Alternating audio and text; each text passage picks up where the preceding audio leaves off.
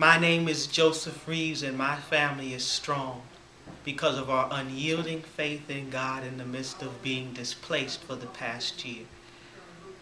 My family um, actually ended up having to move out of my house. My family is myself, my mother, my sister, my two nieces, because where we were staying was no longer physically healthy for us to live, as well as it was not emotionally healthy, it was not spiritually healthy, it was not mentally healthy.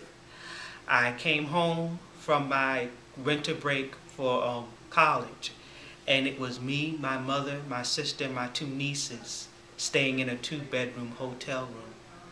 Um, since that time, we have been displaced to um, various parts of the country, but we yet not give up.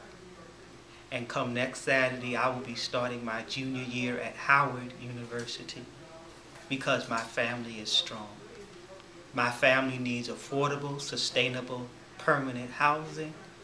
My family needs universal health care. My family needs accessible higher education, and my family needs to be free from class and economic oppression.